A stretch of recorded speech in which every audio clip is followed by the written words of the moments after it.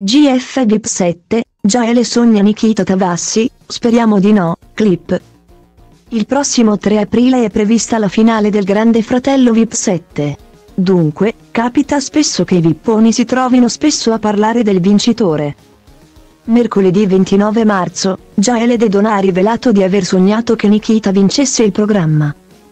Edoardo Tavassi però senza peli sulla lingua ha replicato augurandosi che il sogno non diventi realtà poiché secondo lui la modella triestina non meriterebbe di vincere. Nella tarda serata di ieri, alcuni vipponi si sono ritrovati a parlare in cortiletto del possibile vincitore del Grande Fratello VIP 7.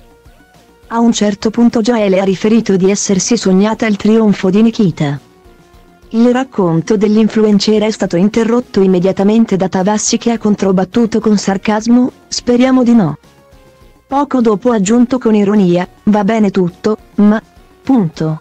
A quanto pare il fratello di Gwendalina Tavassi non sembra essere d'accordo su un'ipotetica vittoria della modella triestina. Dal canto suo, anche Joelle si è augurata che il sogno non diventi realtà. Al contrario, l'influencer vorrebbe che a vincere il reality show fosse qualcuno con la quale ha legato nel corso di questi sei mesi.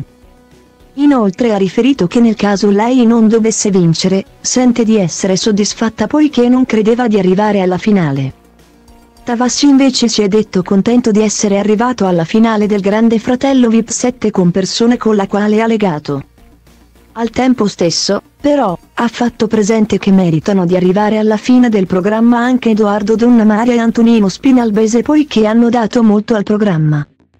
Dopo aver ascoltato il sogno di Gaele, i Vipponi hanno parlato delle precedenti edizioni del Grande Fratello VIP 7.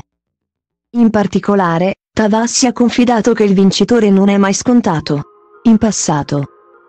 Lui non credeva che Daniele Bossari vincesse contro personaggi come Giulia De Lellis, ascoltando la sua storia e la proposta di matrimonio.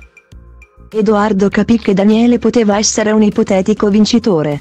Secondo lui, un altro vincitore scritto fu Tommaso Zorzi. Al contrario, lo scorso anno non poteva che Jessica Selassie potesse vincere il Grande Fratello VIP 7. La conversazione tra i vipponi non è passata inosservata ai telespettatori di Mediaset Extra. In particolare, i fan di Nikita hanno criticato Tavassi, la perfidia in persona. Un altro utente ha sostenuto che gli spartani sono ossessionati dal gioco. A detta di un utente, Tavassi nutre un'antipatia senza senso nei confronti della modella triestina.